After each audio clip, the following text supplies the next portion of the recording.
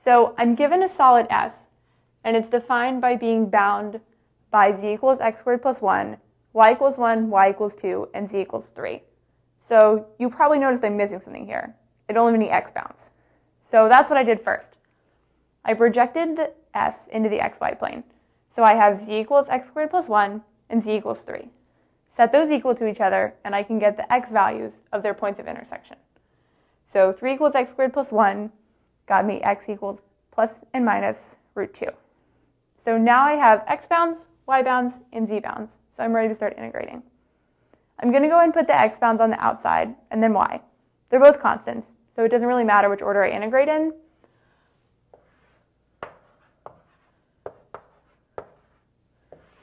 And then y is from 1 to 2. Now I want to set my z bounds. So remember, we go lower bound to upper bound. So here the x squared plus 1 is actually on the bottom.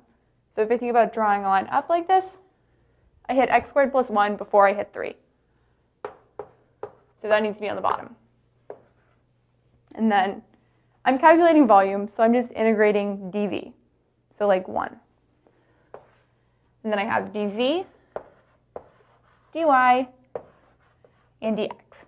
So integrating 1 with respect to z is just going to get me z. Let me go ahead and do that.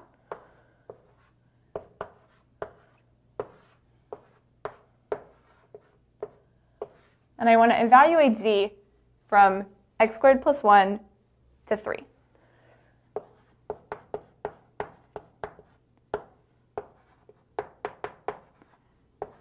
dy dx. So let me go and plug in 3 first for z. And then I want to subtract x squared minus 1. Mm, x squared plus 1.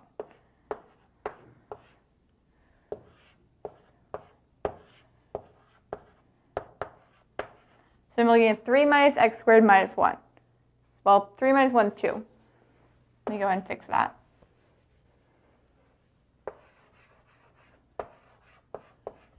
So now I'm ready to integrate with respect to y. So 2 minus x squared is just a constant. So I'm going to get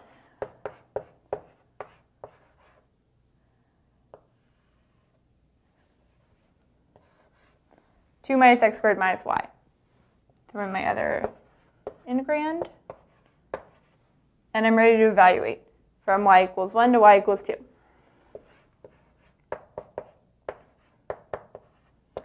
DZ still tagging along. All right, move up here. So first I'm going to plug in 2 for y. So 2 times 2 minus x squared.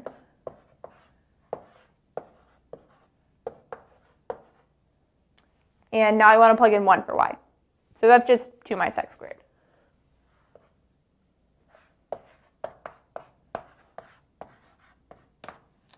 So these are like terms. So I'm going to go and subtract. 2 minus 1 is 1, so I'm just left with 2 minus x squared. That's a little bit easier.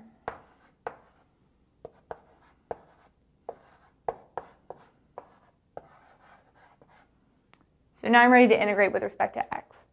So 2 becomes 2x. And x squared becomes 1 third x to the third. And I'm ready to evaluate. So my lower x bound is negative root 2, and my upper x bound is positive root 2.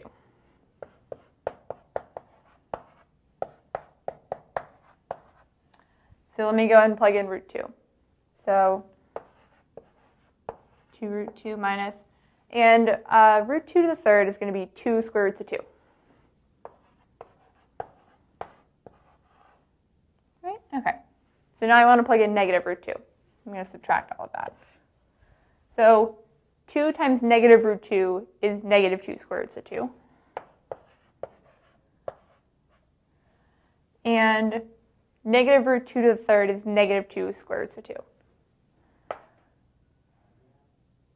So plus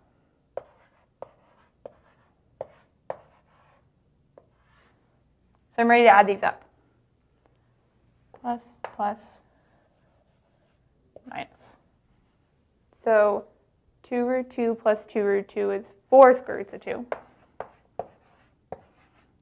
and negative 2 square roots of 2 over 3 minus 2 square roots of 2 over 3 is 4 square roots of 2 over 3.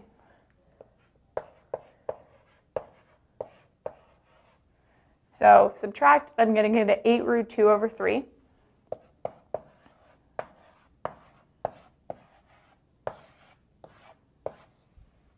And that's my answer for the volume of S.